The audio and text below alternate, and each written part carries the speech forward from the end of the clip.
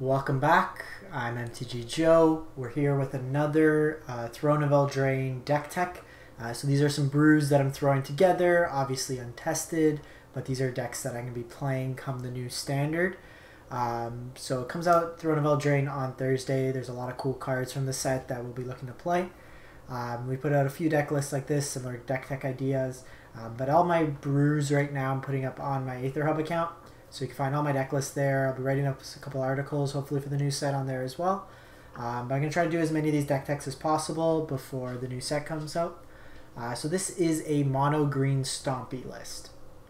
So for those of you who aren't familiar, Stompy is typically referred to as big fat creatures that stomp into battle. Um, so with this deck here, you're getting to play a pretty much solid forest-based mana so you don't have to worry really about rare lands in this case. Uh, so the deck itself, I'll walk you through.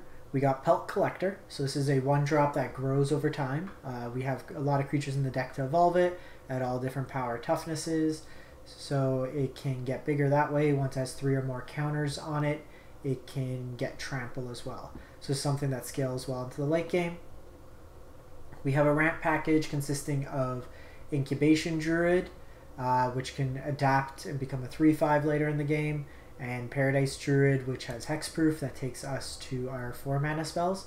Um, I'm not doing Golden Goose. Uh, I find it inconsistent. Yes, you have the mana on 1, but we really don't have that many plays on 3 to be ramping to in this particular deck. We have a lot more going from 2 to 4 mana, uh, so that's where we want to kind of put our curve.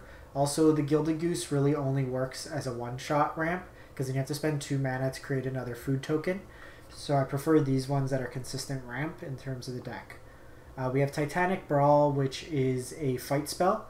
Uh, it costs only one mana if we have creatures with 1 1 counters on it, which Pelt Collector, Incubation Druid, uh, Voracious Hydra, HLC, uh, Barkhide Troll, same idea. They all come in with counters on it, which makes it quite useful. So Barkhide Troll is a 2 mana 3 3 effectively in the deck. We can always pop off one of the 1 1 counters for our mana to give a hexproof to the end of turn. But a 2 mana 3 3 is a good way to beat into the opponent. Uh, then we have two Voracious Hydras. Uh, we can pump a bunch of mana, so if the opponent doesn't really have creatures in the deck, we could just present them a very big threat. If not, it's a way to fight opponent's creatures and get us ahead. Uh, then we have two new of the cards Yorvo, Lord of Garenbrig. So this is a 3 mana 4 4. So it has uh, counters on it again, so it works with Titanic Brawl. Uh, whenever another green creature enters the battlefield under your control, you put a 1 1 counter on Yorvo, so it gets bigger.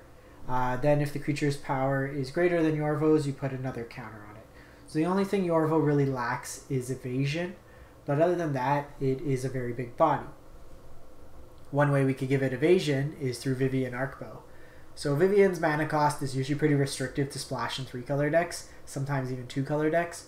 Um, but in our deck, it's really easy. Uh, I can get this out as early as turn three. Uh, so you can put two 1 1 counters on up to two creatures. They gain trample to end a turn, which gives Yorvo the uh, evasion that we need for the deck. Uh, its minus three is removal in the sense we can have our creature deal damage to another creature. And then it's minus five. Won't be used as much in our deck, but it is an option to search out from the sideboard. Uh, we have Questing Beast, which is another powerful card. Uh, this has got a lot of text, so if you haven't seen this card before, uh, it is a legendary creature, so we're only playing three, not four. It's a four mana, four four, haste, vigilance, death touch. Uh, can't be blocked by creatures with power two or less. Can't have combat damage prevented, and whenever it deals combat damage to opponent, it deals that much damage to target planeswalker that player controls. So you can two for one your opponent that way. The best card in green, uh, if you're playing a forest based mana, is Nissa. She has the Mana Flare ability to let all our forests tap for two green.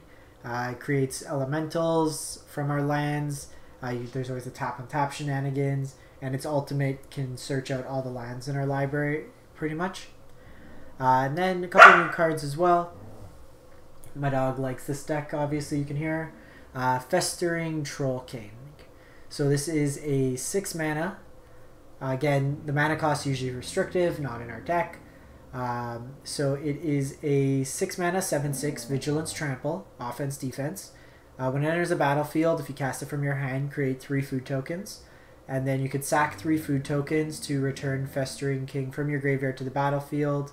And you can only do this during your turn. So unfortunately, you can't do it end the turn to give it pseudo haste, but it's a big body um, that is somewhat recursive.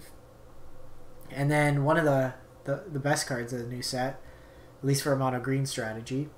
The Great Henge. So this is a 9 mana legendary artifact uh, that costs X less to cast, where X is the greatest power amongst creatures you control. We have a lot of cheap creatures in our deck that have big power toughness, uh, so we can get this down pretty early.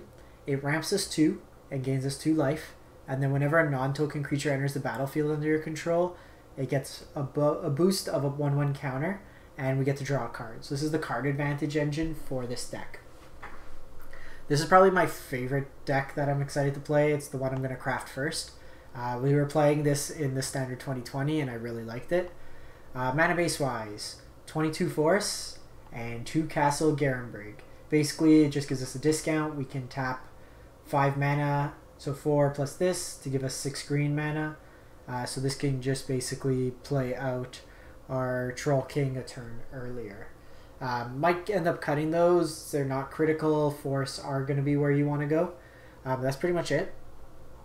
Sideboard wise, this is still in development. You want to see what you're playing against to build a proper sideboard, but these are just some generic cards that I feel that would, in some capacity, be good here. Um, so Sorcerous Spyglass versus Planeswalker decks, Kraul Harpooner versus Flyers, uh, return to nature if we need to get rid of artifacts or enchantments. This could include like all the wilderness reclamation decks we were playing in the standard 2020. Kenrith's transformation is pseudo removal, so if there's very difficult to kill creatures or like troublesome things like a say a Yarok or a Golos, if we can't kill it, uh, we can at least transform it and make it lose all its abilities. It also cycles. Um, Versus the counter decks, we have Ceratops, gives a haste as well. Uh, Biogenic Ooze is against uh, decks either with not a lot of removal or mid-range mirrors. We can drop it down with Nissa out, just create a ton of tokens. Ugin is uh, kind of our removal against control. It's a good way of card advantage as well. And then Planewide Celebration is something I wanted to try out. Uh, basically, it's a flexible card. We can either get four tutus, uh, return stuff to our graveyard, proliferate all counters on our creatures, uh, or gain a bunch of life. You could effectively gain 16 life with this card, uh, so good for those mirrors. Another card you could play here is Meteor Golem, 7 mana, destroy target permanent when it enters the battlefield. Um, there's flexibility here. Um, that's pretty much the list. It's probably a mid budget 28 rares, 9 mythics, but 2 rares are these castles that can be foregone. Um, so that's pretty much it. Like I said, you can find all my Throne of Eldraine deck lists on AetherHub right now, and I'll come back with a couple more of these. Uh, if there are any deck lists you'd like to see that I haven't featured already, drop a comment below. I'll try to get it out. I got Mono Red and, on the way. That will be the next one I work on, and I want to do a mill deck as well. But let me know what you think. Uh, if there's kind of more of the fringe decks, like adventure focused, food token, stuff like that, or a lot of the budget decks I'll do once the new set comes out. I just want to feel what the cards are like, which ones kind of over overperform and stuff like that. It gives me a better idea to know what the the more fringe, less flashy cards are for these budget builds. Um, and last thing, if you are considering purchasing physical cards for this new set and you are using TCGPlayer, I do have an affiliate link. Uh, either on AetherHub you could click or in the video description down below. Basically, all it lets them know is that I sent you to the site. Um, can purchase the same way you normally purchase. It just lets them know that it was me that kind of referred you. Help support the channel without costing you any money like that. You don't have to pay for subs, anything like that. And it basically just goes to put buying more cards on Arena so we can play more videos. Um, and that's pretty much it. Thanks for watching. If you have any questions or comments, feel free to drop them in the video description down below. Have a great one.